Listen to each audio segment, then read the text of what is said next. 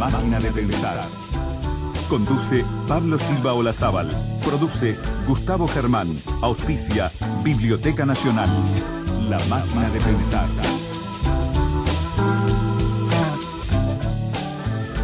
Amigos, ¿cómo están? Bienvenidos a Radio Uruguay, bienvenidos a La Máquina de Pensar, ¿cómo andan?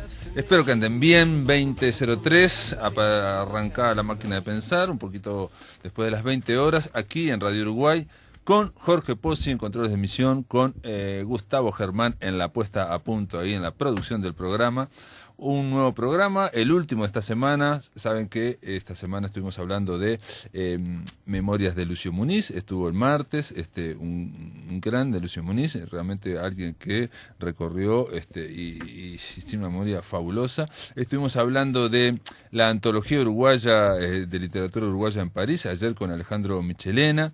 En fin, estuvimos hablando de poesía el lunes con Santiago Barcellos y Eduardo, escuchando a Eduardo Laureiro.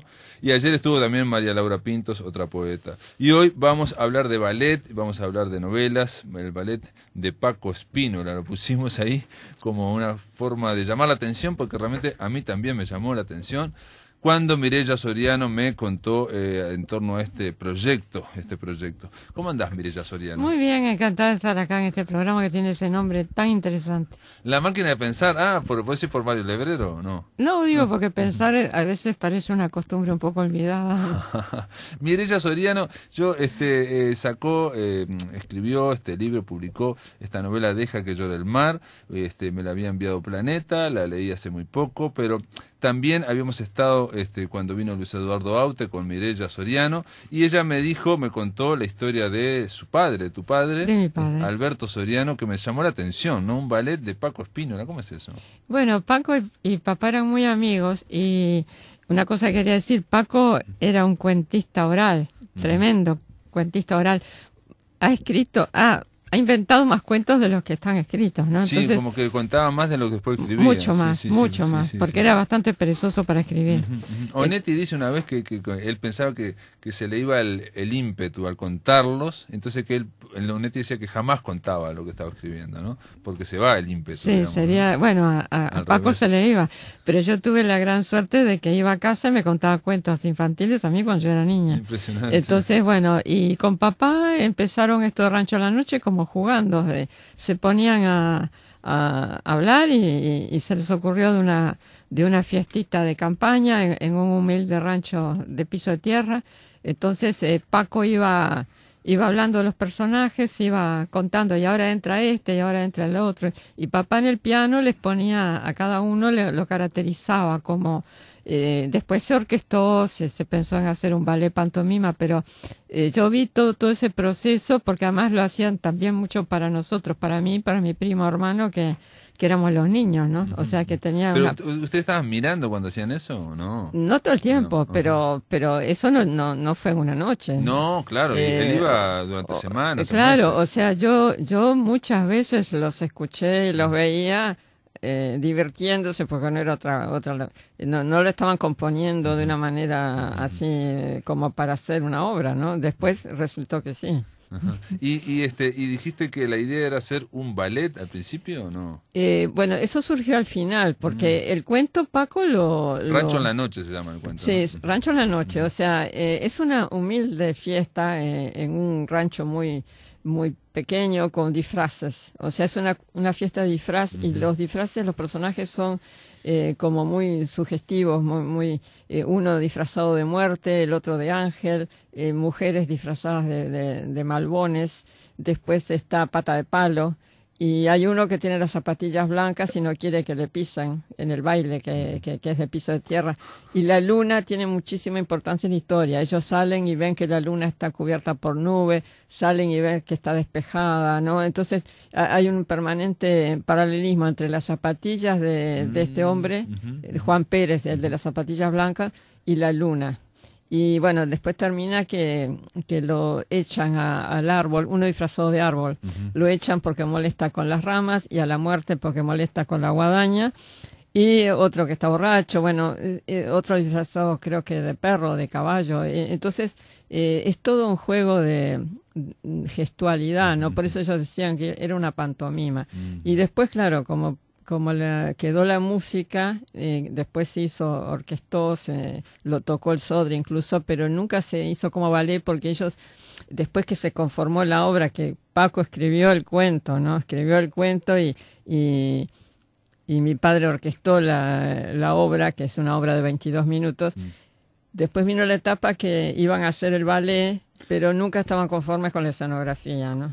Pero también no hubo un planteo de hacer un cortometraje. No, eso es posterior. Bueno, e, e, ellos aspiraban a eso. Eso digo, porque había una, ambición también cinematográfica, ¿no? Claro, porque... Eh, eh, en realidad Paco Espino tuvo varias ambiciones cinematográficas, escribió un, guion incluso de sobre Carlitos Chaplin, ¿no? Claro, es este, que ellos cuando... Ellos, eh, ellos en definitiva jugaban, pero llegó un momento que la obra tenía como una como una cierta unidad y, algo que les conformó como, como producto, ¿no? Es una suite sinfónica que dura 22, 22 minutos. Entonces, cuando terminó la, ese proceso, dijeron, bueno, acá está Rancho la Noche, eh, cuento escrito, obra eh, sinfónica eh, compuesta. Entonces ahí lo primero que ellos pensaron era un cortometraje para televisión en colores, cuando no existía ni siquiera la televisión en blanco y negro en Uruguay. Entonces ellos siempre lo vieron como un cortometraje para televisión. Incluso pensaron hacerlo con marionetas. Ah. Había un tal Cholo en el galpón que era un maestro eh, eximio de la marioneta. Y, o sea, hubo muchos proyectos siempre en el campo audiovisual. Y por eso lo del ballet eh, nunca les conformaba porque ellos yo creo que siempre aspiraron a, a, a algo semejante al cine, ¿no?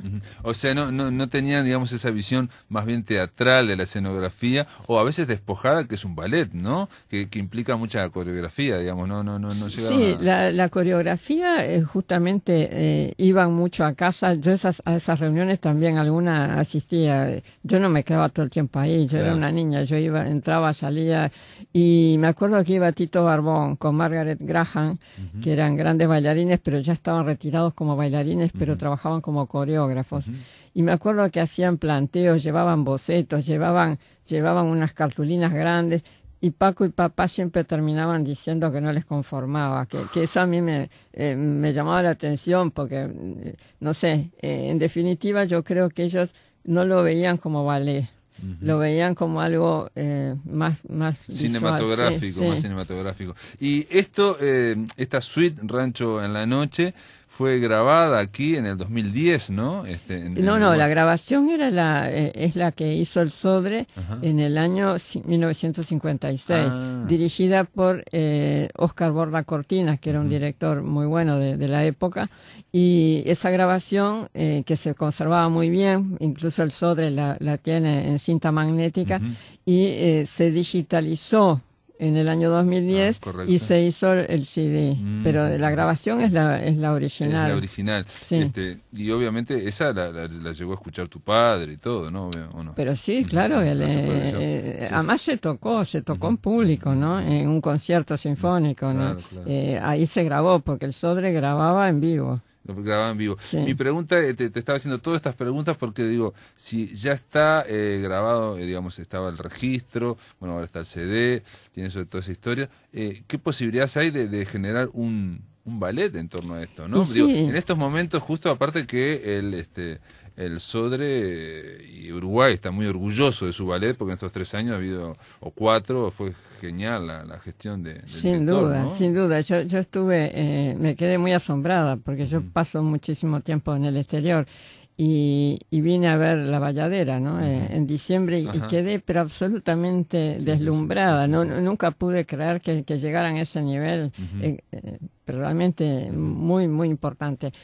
Claro ahora la, los nuevos medios o sea las escenografías están mucho más accesibles a, a, lo, ah, sin duda, Sí, sí. para Paco Espínola, tu padre, sería este el momento, porque digo, porque es, es, esa cuestión de escenografías tan ambiciosas, tan geniales, ¿no? Con tantos efectos, ¿no? Es, obvio que, que, Uruguay no estaba en los años 50, 60. Eh, eh, ellos en realidad no era que, que pretendieran algo así demasiado, demasiado eh, grandilocuente, pero porque justamente es una fiesta muy humilde, pero que no tenía que perder esa poesía, esa cosa íntima, de, ¿no? Una, una humilde fiestita y, y, la luna como protagonista. Yo me acuerdo que la gran objeción era que y la luna y la ah, luna y, también hay que generar un efecto especial para que la luna tenga presencia casi viva, ¿no? La luna tenía que estar ahí, eh, no sé, hoy podemos poner imágenes eh, de un video, eh, pero en aquel momento la luna, yo me acuerdo que siempre era la gran pregunta, ¿y dónde, dónde ponemos la luna?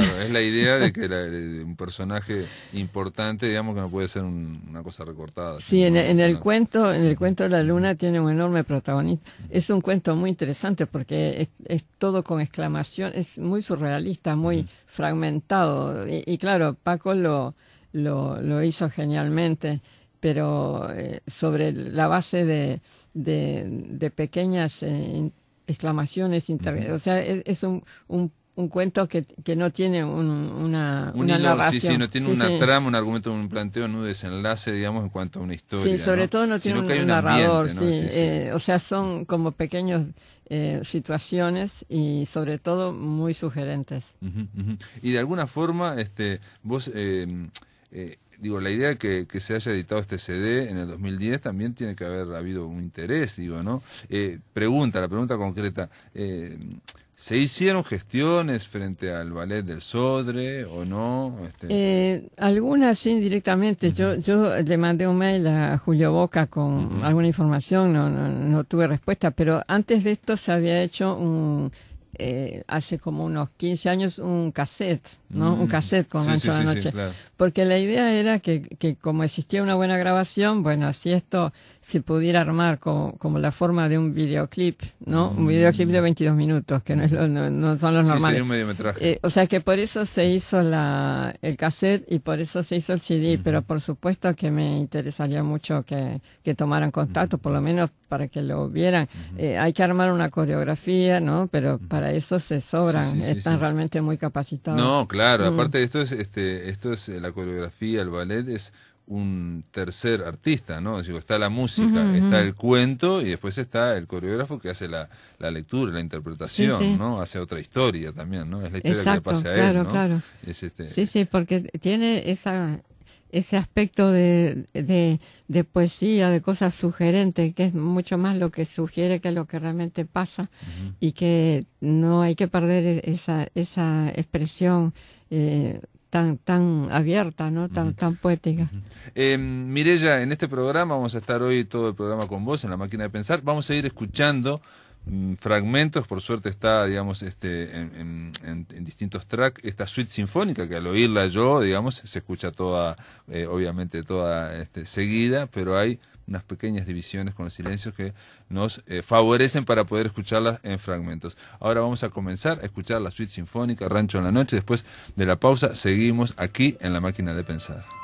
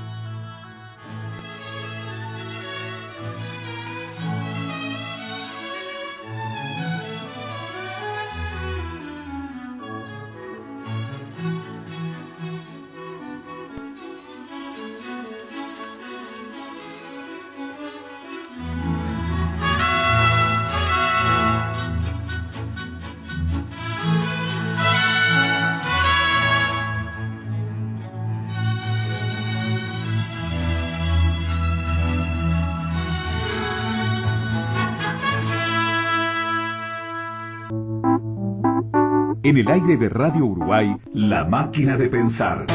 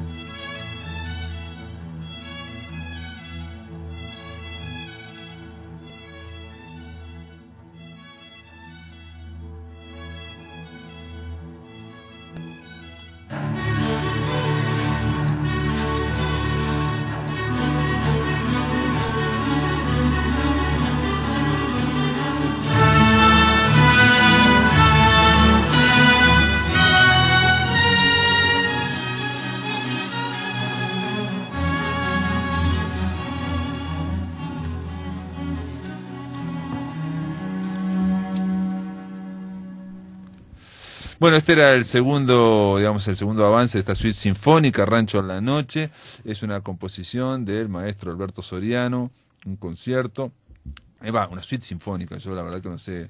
Y este, y vamos a escucharla hoy en la máquina de pensar, otros, otros fragmentos, por lo menos, no la vamos a escuchar todas, dura 22 minutos, pero da una idea por lo menos del ambiente que genera esta suite sinfónica. Estamos conversando con Mirella Soriano. Me olvidé de, hablar de vos. Este, sos eh, ingeniera, hace mucho tiempo que estás escribiendo. En el 98 escribiste tu primera novela, No hay tiempo para más.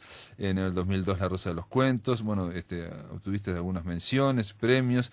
Así en la Tierra como en el Cielo. Eh, sacaste en el 2010 y hace poco también otro sobre eh, la tragedia de los Andes, ¿no? Sí, sí. Que se llama Desde el Silencio. Desde el Silencio. Ahí sos coautora con Strauch, ¿no? ¿Cómo, ¿Cómo fue esa experiencia? Bueno, Strauch necesitaba un escritor que, que relatara su, su experiencia personal en la cordillera y esto para mí fue muy motivador porque en primer lugar me tuve que poner en su mirada, o sea, tuve que escribir desde, el, Ah, desde, narrador, sí, desde sí. la piel del Sí, otro.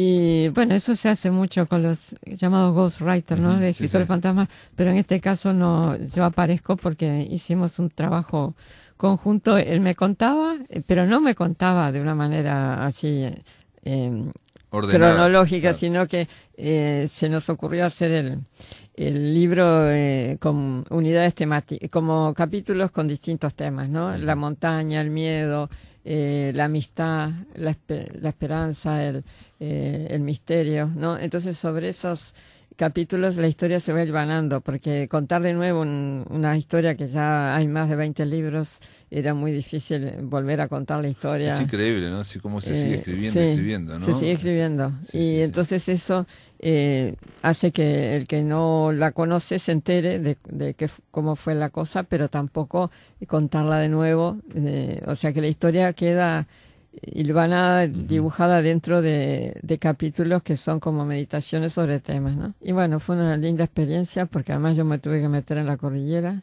para vivir, intentar vivir lo que él vivió y me Pero- refiero, no, no, no Metafóricamente, no fuiste físicamente. Metafóricamente, sí. Lo- los dos primeros meses de trabajo estuve nada más que viendo películas, mirando, leyendo libros, eh, escuchando todas las entrevistas que le hicieron a los 16 sobrevivientes durante los 40 años. eh, entonces, bueno, como que me metí totalmente en el tema y con él trabajamos muy bien. O sea, no nos reuníamos a hablar de la ¿Pero cordillera. se conocían antes? No, ¿Con- no, no. Ah, no te no, con Strauss. No Ah, nos yo conocíamos. o sea, amigos, no, a mí me seleccionaron eh, y después era fundamental que tuviéramos un, Un feeling, un- claro. un buen feeling. Y era así, además no era como, era un poco un trabajo parecido al de un al psicólogo porque eh, yo no lo, lo- no le estaba tosigando con preguntas, o sea, de pronto iba un día a casa, eh, trabajamos así eh, durante dos veranos y él, él iba y nos hacíamos un té. Bueno, hoy vamos a hablar de la amistad. ¿Qué amigos tenías cuando eras pequeño? O sea, hablábamos de todo un poco. Ah, bueno, de su vida. Entonces, claro, eh, siempre salía el tema de la cordillera, pero salía integrado eh, en un tema mayor que abarcaba toda su vida. ¿no? Ujú. Y de alguna forma, este mm, tiene que ver más allá de la, digo, porque yo creo que esa historia se sigue contando como otras grandes historias, porque siempre generan como una especie de, no sé si de lección o hay una especie de aprendizaje que no pasa por la historia en sí, digamos, ¿no? Este, yo creo que por algo se refleja el tema de la dificultad o el tema del gran dolor, en fin, eh, este, o de la desesperación, la desesperanza, ¿no? Entonces, este, em, digo yo, ¿no? Digo yo que, que es, este, se toma esa historia y es como un prisma, ¿no? De la mires, de, de, qué, eh, desde qué lado la mires, este te da una cosa diferente a Sí, cada uno, ¿no? es inagotable. Ellos casi todos han escrito libros o los han mandado a escribir y son visiones siempre diferentes y todas válidas. Por ejemplo, eh, Nando Parrado es la visión más empresarial de, de los objetivos, de, de superar las dificultades. Eh, después, eh, el caso de Eduardo Strauch es más íntimo, más la visión más mística, más, más, más espiritual. Eh, pero todas son eh, distintos enfoques de lo mismo, pero es una historia muy inagotable porque, por ejemplo, yo misma que creía que, que, Que lo más o menos tenía, sabías todo. eh, no, porque además él quería eh, que el escritor que le ayudara fuera alguien que hubiera vivido en esa época, ¿no? Ajá, Entonces, sí. claro, no un escritor demasiado joven que, Claro, claro, claro. que se lo hubiera contado. Entonces, yo que creía saber mucho, porque eh, acá en Montevideo todos teníamos algún vínculo, si bien yo no los conocía a ninguno de ellos, pero mi madre era profesora de francés de, de, de Gustavo Servino. eh, después yo tenía una compañera en la parroquia que era hermana de la que después fue esposa de, de Canesa. Después tenía mi madrina tenía su su nuera era hermana de Valeta, o sea, te- teníamos muchos vínculos Claro. indirectos. Yo que creía que, que la historia ya no me podía enseñar nada, eh, le encontré todavía otro nuevo aspecto pensando en el arriero, Sergio Catalá, que fue el que los encontró, sí, sí, el que era un hombre que nunca había llegado ni siquiera a un pueblo, un hombre que vivía en la precordillera, en el, tenía su familia, pero estaba en el más total aislamiento de en una rutina de, de ir a llevar ganado, o sea, un hombre que se puede decir que estaba aislado, que no le podía pasar nada, nada impresionante en su vida, y un día la vida le cambia Se que, que sí, empezó. sí. Claro, eh, o sea, no solamente eh, es una figura mundial, sino que ahora mismo él eh, ha tenido que eh, en toda su vida eh, atender reportajes de la CNN. sí, sí, bueno, sí, entonces eh, eso te lleva a pensar que siempre te puede pasar algo inesperado Claro, eh, en cualquier lado. en, las condiciones menos probables. Es sorprendente, es sorprendente. Este, no, me estaba acordando de un amigo en común que estuvimos hablando ahora fuera de micrófono, Fucho Musitelli, que él decía que, bueno, que, que tenía también una teoría de que, que habían pasado tanto tiempo porque ellos no se habían movido, digamos, que si hubiera sido en otro país o con otra cultura, habrían salido, digamos, a, a caminar, digamos, ¿no? Si hubieran, yo qué sé, gente que había sido Boy Scout, en fin, otra, una serie de cosas. Sí, ¿no? pero también eh, era invierno, ¿no? O Sí, sea, sí, sí, eh, ellos cayeron en octubre. Eh, segui- salir en ese momento, yo creo que estuvieron bastante prudentes de no salir. ¿no? de no salir. Y decime, y, y la escritura de esta última novela, Deja que llore el mar, este, que es una, una larga historia de amor, ¿no? Una larga historia ¿No? de amor. Me hizo acordar, digo, no es que me haga acordar, lo, lo, lo aclaro, pero pero uno asocia, como el lector va asociando, con aquella historia de, este, que ahora me enteré que, que se ha hecho tres veces ya, este, o sea, hay remake y remake, películas norteamericanas, eh, algo para recordar. digamos, ¿no? La idea de eh, que por alguna razón una pareja, un gran amor, se, eh, se separa, ¿no? Y después cuando se vuelven a encontrar ocurre algo, y bueno, en fin, es esa idea del, del retorno, ¿no? Y este, pero que se ve, este, eh, por alguna cosa, por algo se ve eh, incentivado y por algo se ve, este, que no se, no se puede concretar, ¿no? Sí, sí. Y sí, eh, es una historia bastante, bastante común. No. Bueno, no sé si es tan No, me refiero a los reencuentros por internet. son- Ah, por internet. este Es- momento Eso hay que aclarar, claro. Sí, sí, sí. Acá se hacen, digamos, este, un- dos, dos enamorados este, de- con mucho tiempo, se reencuentran a través de internet, a través de un correo electrónico, pero bueno, ahora se haría a través de Facebook, en fin. es decir, este, que yo incluso pensé cuando la estaba leyendo que el poner cosas tan... eh, de la coyuntura de estos últimos 10 años, ¿no? 8 o 9 años, este, viste que está cambiando tanto que, por ejemplo, hoy, hoy todo el mundo habla de redes sociales y de Facebook. Claro, ¿no? claro. Eh, ah, en el 2005 nadie hablaba. No, no, la- O sea, las tecnologías están Entonces, este, permanentemente- el Facebook está tan eh, omnipresente, probablemente en la próxima década sea otra cosa. Sí, no sí. exista más. Sin duda. Eh, pero- En este caso vos te salvás porque no pusiste Facebook, pusiste correo electrónico que yo creo que hay... María Simón una vez la escuché diciendo que cada vez el hombre tiene más posibilidades de comunicarse y después no se echa ninguna, las va sumando, ¿no? Las va sumando. El SMS va sumando Claro. al correo electrónico, después va, ¿no? Las va... Sí, sin duda. Todavía hay cartas escritas. Yo el otro día recibí una de, de nuestro común amigo, de, de Eduardo Aute. Ah, sí, te mandó Aute me, una- mandó una escrita. Que- Bueno, entonces, eh, referido a, a- a que las tecnologías caducan también, Sí. o sea, esta novela yo la escribí hará tres o cuatro años, pero por ejemplo, ellos no tienen internet en el móvil. ¿No? Ah, o, o sea que ya, ya, ya está envejeciendo. pero, no, no, eh, no, no, no, me porque se- refiero. Se, habla eh, en algún momento que hay pro- problemas también para bajar, o, o hay una metáfora también Sí, que se usa, ¿no? Digamos, en vez de decir cuando algo va apareciendo lentamente, es como cuando hay. Que también yo creo que probablemente esa metáfora. Eh, si uno no la explica, el- dentro de la década que viene, no, no, no sé si se va a, A entender. ¿no? Digo, yo viví, todos vivimos, digamos, yo creo, este, hace 10 años lo que era tener una baja, ¿no? Un bajo nivel de internet, ¿no? Sí, Se va formando las cosas. Ahora eso, Eso ya no, No claro. existe, No, de todos modos, la tecnología o el soporte es lo de menos. Claro. Lo que importa es eh, el, el juego de sentimientos de ellos, ¿no? Claro, Pero, pero claro, sin duda que, que, que las cosas pasan rápidamente de, de, de vigencia, ¿no? No, en realidad todas las historias de uno, si, si uno se fija, digamos, en unos hay este, trenes, en otros hay, no sé, este, eh, diligencias, en fin, digo, ¿no? Eso es así, digo, va variando, este, o en otros hay tranvías, en Sí, otros sí. hay, entonces este, eso va variando y sin embargo el lector lo que hace es este, seguir la historia, Sí, ¿no? lo que se supone si que- Mm. Se, si, se- si te engancha, no te engancha. Claro, lo que se supone que no varía tanto son los sentimientos humanos.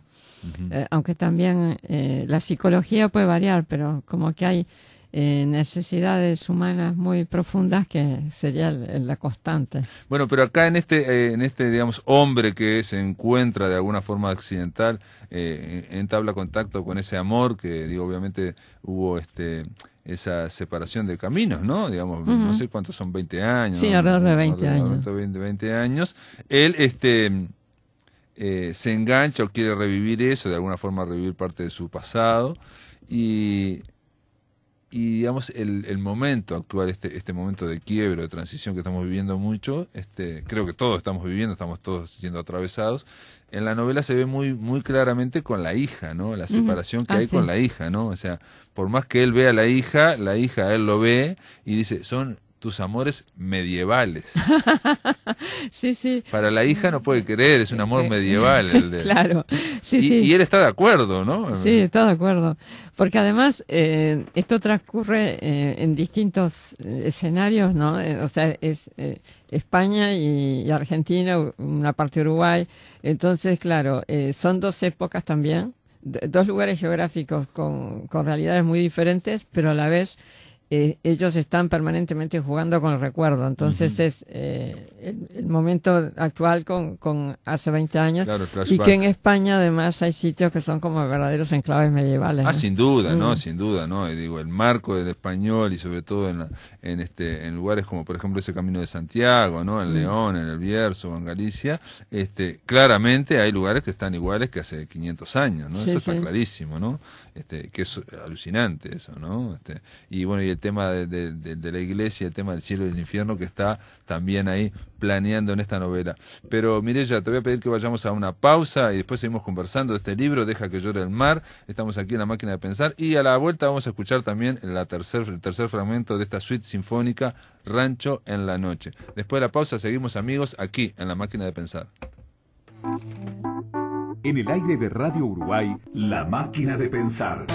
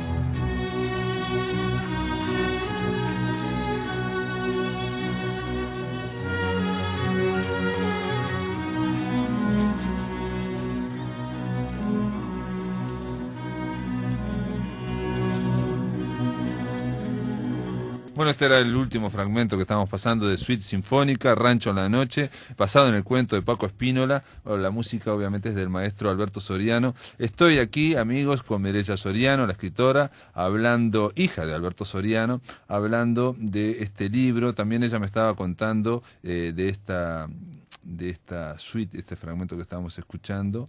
Y no, quiero decir que, que, nos llamaron de Artigas, mandamos un saludo a Artigas. Este, es lindo saber que en el interior nos están escuchando y bueno, que hay gente que realmente le está gustando la conversación. Mireya, vos me decías ahora que en esto que estábamos escuchando se escuchaba eh, como un leitmotiv, eh, un balsecito, ¿no? Hay un balsecito y después aparecen esas apariciones así fuertes. Sí, es un balsecito criollo que está eh, latente en gran parte de la obra, ¿no? O sea, en el, en el cuento eh, se describe que la música del baile es con acordeones. O sea, hay dos acordeonistas viejos que están tocando y la gente baila. Y bueno, y ahí esos ritmos criollos de, de vals, de valsecito, ¿no? yo no soy experta en música, eh, se, se percibe claramente y después hay como unos toques disonantes fuertes que son eh, el árbol que molesta con las ramas, la guadaña que molesta con la, con la, con la, eh, mejor dicho, la muerte que molesta con la guadaña, hasta que estos son expulsados del baile. Y, y, el, y ese tema muy lírico, muy, muy, muy, suave es Juan Pérez, que baila con las, zapatillas tratando de, de, preservar sus... Están bailando todos tratando de bailar ahí, y me decías que en ese balsecito también hay acordeones, digamos, aparentemente. Sí, sí, claro, porque la música es con acordeón, si bien esto en la orquesta no... Claro. No, no lo refleja, ¿no? claro, eh, no, no, hay un acordeón en la orquesta, pero, pero se, se pretende eh, describir ese tipo de música. Mirella, en este, en el libro, la novela Deja que llore el mar, eh, ya, lo dijimos, son, este, es un, es un ¿por qué, ¿por qué pusiste el protagonista argentino? Bueno, eh, porque es yo ingeniero conozco, eh, sí, bueno, y vos sos ingeniera pero uruguaya. Sí, pero lo que pasa es que lo que uno siempre es una pregunta que muchos me hacen de de si el escritor tiene que imaginar todo o no.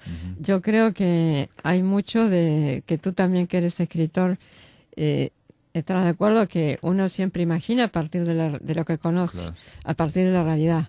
O sea, él es ingeniero porque, porque como yo soy ingeniera, yo conozco mucho el mundo de la ingeniería. Si yo fuera, por ejemplo, médico, tendría que, eh, le hubiera puesto médico. así uno se ahorra toda esa etapa de documentación, ¿no? De, decir, bueno, ¿qué, ¿qué, hace un ingeniero? ¿Cómo es la, la vida, las obras? Y es argentino porque porque yo conozco mucho justamente de, donde él es, que es de Entre Ríos, la provincia de Entre Ríos. O sea, mi, mi, mi padre murió allí, ¿no? O sea, mis padres... Vos tenés un, acento que no es típico uruguayo. Bueno, pero eso por mis largas estadías en España y por, mm. por muy, porque estoy también mucho en Argentina. Y, mm. Bueno, o sea, es un engendro horrible, como dice mi hijo, que, que, no se sabe que de, eh, pero de todos modos, lo de, lo de que es argentino, pero él tiene una abuela uruguaya y viene mucho a Montevideo. O sea, eh, de alguna manera lo que eh, es una facilidad de, de, poder describir eh, sitios y, y ambientes que, que yo conozco. y, este hombre, este ingeniero argentino, bueno, este que también tiene, digo, capacidades para trabajar en, distintos países también, ¿no? Mm. O sea, por, por su por el grado, digamos, de, de desarrollo de, su, profesión, este se reencuentra por vía mail con este gran amor de su vida que es una española, ¿no? Es una española, sí, sí. ¿No? Y entonces ahí él piensa cómo podría ser eh, esa, esa, idea loca, ¿no? De volver a España, trabajar a España, este, con la ilusión de, de, poder este, volver a, a, reconciliarse o a tener algo con esta mujer que, que, es muy fría, ¿no? Le, corta el mambo Bastante. Claramente, claramente, eh, también eh, asociado con esta historia de amor están justamente esos temas como la desocupación, porque él después termina una obra que hace en trabajo, ¿no? Y también la, toda la dificultad para obtener papeles, o sea, son temas que, que también son, eh, como me decía el otro día Ruperto Long, que mandó un comentario muy bueno, de, que, que de la mano de la historia de amor van, van eh, eh, cosas bastante actuales. Claro, no, está mm. dando un tono, digamos, de, del momento epocal, ¿no? Sí, es, sí. es, obvio que hay, y por eso yo te decía el tema de las tecnologías, el tema Mm. de el, el, digamos, eh, el abismo entre él y su hija, ¿no? Porque Mm. hay realmente, digo, hay muy buena relación, simplemente es que se ven de un lado o del otro del abismo, Sí, ¿no? sí, O sea, exactamente. No, no, no, no, simplemente. Que no en tiene- un momento él dice, bueno, yo pensé que íbamos a ser los dos eh, muy pares como adolescentes porque él se mantenía bastante actualizado, joven, un, un tipo moderno, pero igual eh, el tiempo no sabe trampas, dice, ujú. porque cuando la hija eh, es adolescente, eh, él ya, ya tiene como un, un lenguaje incluso, no solamente de palabras, sino que, que las cosas que que más la motivan a ella, él, él mucho No, no, por eso hay una entiende. cuestión de, de- de- Sí. de- de sensibilidades que es totalmente, no sé si opuestas, totalmente diferentes, Totalmente distintas, diferente, distintas, claro. y digo, lo que hay es eh, eh, puentes como el cariño, el afecto, pero digo, cada uno se mira de, de- de los dos lados, Sí, digamos, sí. del precipicio, digamos. este, en el caso de, de él, este... eh, y me parece que flota en la novela un- una idea que no sé si vos ingeniera, pero eh, la idea del tiempo, la idea del tiempo, ¿no? El tiempo, eh, estamos todos eh, inmersos en él, ¿no? Eh, hay algunos que lo consideran un enemigo, otros un amigo, en fin, el tiempo nos va tallando a todos, ¿no? Pero hay momentos, hay algunos momentos en que parece que el tiempo desaparece, ¿no? Sí, en el recuerdo, ¿no? Porque ahí... No, pero hay momentos en que él se ve con ella Ah, sí, en la sí. mirada Ah, o en sí, determinado momento y parece Claro. que no hubieran pasado 25 años, Ah, sin sino que hubieran pasado 25 minutos o dos minutos. Sí, sí, bueno, eso también, pero es todo, todo un, un efecto eh, muy, muy interno, muy psicológico, pero que realmente eh, se vive así, ¿no? La idea de que por un lado el tiempo puede no pasar en determinados momentos y también está la idea, digo, eso capaz que digo la- la- como lector, digo, no yo este, la idea de que el pasado también se modifica desde el presente, ¿no? Se modifica, porque el recuerdo siempre es una recreación, por más fiel que sea. Además, te pasa a veces cuando te encontrás con amigos de la infancia que de pronto no los viste por 40 años y en un instante se reconstruye una Absolutamente claro no no no no estás en eh, en esa etapa como de romper el hielo o sea que de, de un momento al otro es como si realmente es- estuvieran jugando eh, en la infancia no o sea eh, hay algo que siempre se mantiene.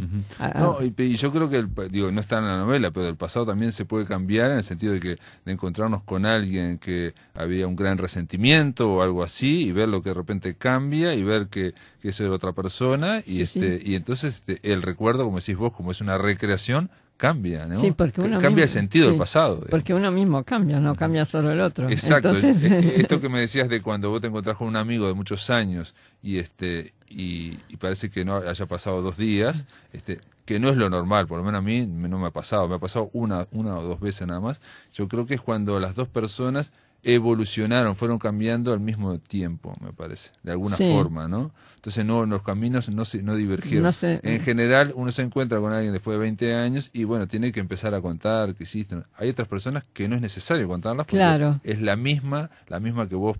Sí, sí, eh, más allá de contar. Eh, la semana pasada vino una amiga mía de californiana con la cual compartimos piso en Madrid hace 35 años. Y bueno, y estuvo poquitos días, fuimos a Colonia, Montevideo, Punta del Este, y era como si, como, como si hubiéramos estado Sí, sí, sí, en aquella época, Sí.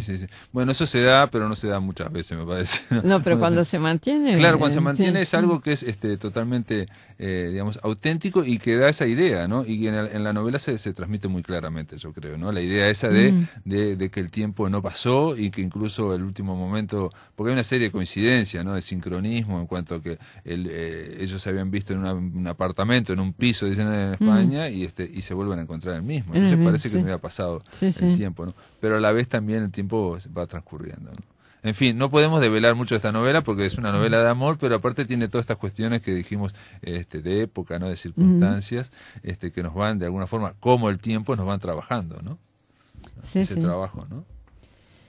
sin duda. y Mireya, y no hablamos, pero ya nos quedan dos minutos, no hablamos de Mario Lebrero, pero lo dejaremos Bueno, para, para la próxima. Yo tuve el privilegio de vez. tenerlo profesor también en. Colonia. Así que los dos creo que hemos sido bendecidos por su figura. En ese sentido, y en el tema, estaba pensando en el tema del tiempo, ¿no? Esa, esas cuestiones de que en esos momentos desaparece el tiempo, ¿no? Esa, esa, esa idea de, de que eh, en algunos momentos se anulan las distancias y se puede anular el, espacio, digamos, y el tiempo, ¿no? que a veces nos toca, generalmente no, ¿no? generalmente no nos ocurre. Sí, sí, son pequeños milagros, pero hay que esperarlos.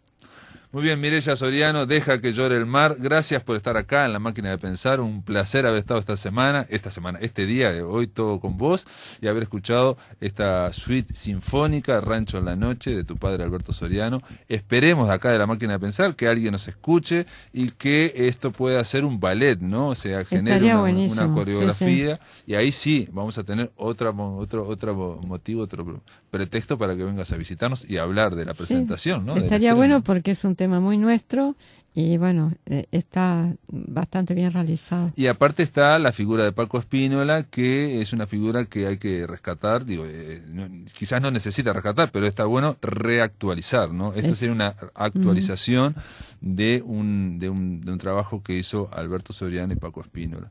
Eh, gracias por estar acá. Gracias a ustedes. Amigos, se terminó la máquina de pensar. El lunes vamos a continuar a partir de las 20 horas por Radio Uruguay. que pasen un feliz fin de semana y nada, los espero el lunes, que lo pasen muy bien.